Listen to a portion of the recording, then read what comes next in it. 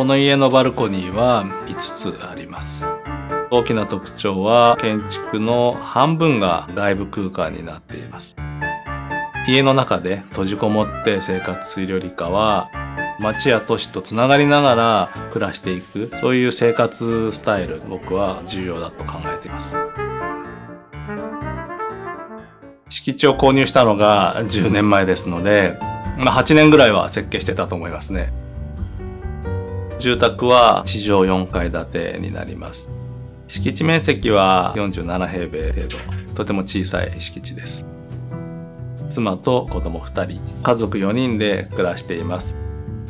ずっと借りて暮らしてたんですけれどもいつかは自分が設計した建物に住んでみたいというふうにずっと思っていました。設計してる間にいろんなことをね気づいてしまうんですよね。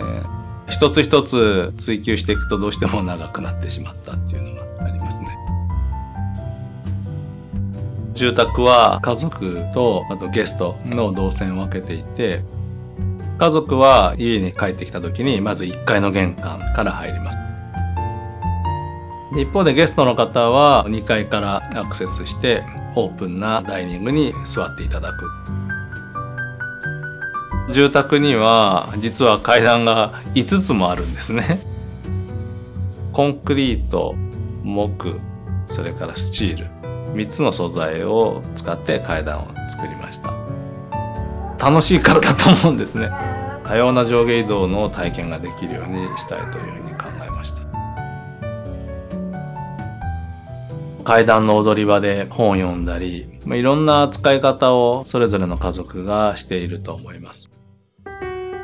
3階が自由に使える空間っていうふうに位置づけていて息子はいつもブロックを積んだり電車の模型を走らせたりして遊んでいます。子供たちの友達が来た時とかにはネットをつけて落下防止対策をしています。建築の構造体は4つの柱と十字の形をした梁でできています。柱を。床の中心部分の方に設けています。外周壁はガラスでできています。外から見た時にも内部空間が丸見えにならないようなそういう機能もあると思います。外周壁は構造計算には含まれない将来的にリノベーションがしやすいように設計したかった。4階は寝室になっています。個室って言った時に中の様子が見えないような部屋は教育上良くないというふうに思ってますので間仕切り壁がありませんので寝る時には遮光カーテンを引いて話し声とかを聞こえながら家族の一体感を感じながら寝るっていうようなそういう寝室になってます。この家のバルコニーは5つあります。お花屋さんですかとかそういうふうに聞いてくる方は何人もいました。